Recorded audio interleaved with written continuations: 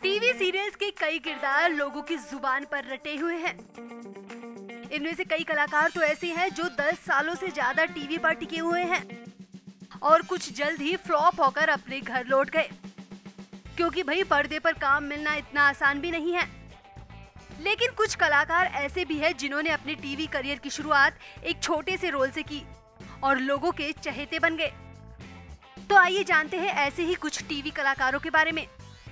देखा जाए तो इस मामले में सबसे ज़्यादा किस्मत एक्ट्रेस मौनी रॉय की खुली है, क्योंकि वो जल्द ही अक्षय कुमार के साथ फ़िल्म गोल्ड में नज़र आने वाली है। मौनी ने एकता कपूर के सुपरहिट शो क्योंकि सास भी कभी बहू थी में छोटा सा रोल कर एक्टिंग करियर की शुरुआत की थी। क्रिस्टल डिसूजा छोटे पर्दे की खूबसूरत एक्ट्रेसेस में गिनी जाती हैं। इन्होंने भी सफलता की सीढ़ी पर चढ़ने से पहले काफ़ी स्ट्रगल किया। क्रिस्टल को पहला ब्रेक सीरियल कहे ना कहे में किंजल के रोल में मिला था।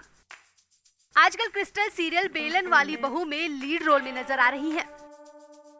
सुनील ग्रोवर भी देश के कोने कोने में डॉक्टर मशहूर गुलाटी गुत्थी और रिंकू भाभी के किरदार में पॉपुलर है।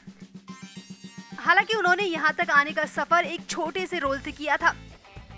उन्होंने साइलेंट कॉमेडी शो गुटरगु और चला लल्लन हीरो बनने जैसे शोज़ से अपने एक्टिंग करियर की शुरुआत की थी। कविता कौशिक भी टीवी सीरियल का जाना माना चेहरा है। उन्होंने अपने एक्टिंग करियर की शुरुआत सीरियल केसर और कहानी घर घर की जैसे शोज़ में छोटे छोटे रोल अदा कर की थी। लेकिन उन्हें असली पॉपुलैरिटी टीवी सीरियल एफआईआर में इंस्पेक्टर चंद्रमुखी चौटाला के किरदार के रूप में मिली। एकता कपूर के कई सीरियल्स में छोटे छोटे रोल करने वाले एक्टर करण पटेल आज टीवी पर सिक्का जमाए हुए हैं। उन्हें तो टीवी का शाहरुख खान तक कहा जाता है। फ़िलहाल वो स्टार प्लस के पॉपुलर शो ये है मोहब्बतें में लीड रोल में नज़र आ रहे हैं। गौतम रोडे टीवी इंडस्ट्रीज़ का बेहद पुराना चेहरा है। कई सीरियल्स में काम करने के बाद गौतम को कई बॉलीवुड फ़िल्मों में देखा गया है, जिसमें की फ़िल्म अक्सर टू में वो हाल ही में नज़र आए थे। फ्लेम मीडिया रिपोर्ट।